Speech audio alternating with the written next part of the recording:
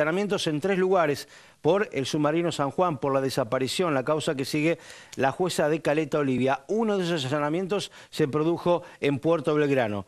Este es el informe.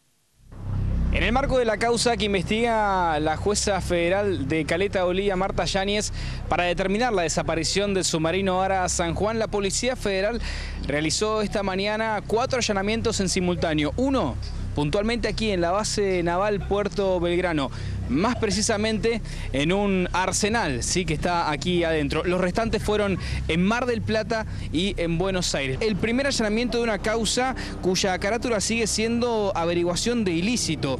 Se busca y se secuestra información y documentación que aclare o despeje las dudas sobre la viabilidad y las reparaciones que el submarino Ara San Juan haya tenido a partir de febrero de 2017 y hasta octubre, fue lo que dijo la jueza Marta Yanis. Lo cierto es que esta mañana se realizaron cuatro allanamientos y uno de ellos fue aquí, en un arsenal de la base naval Puerto Belgrano.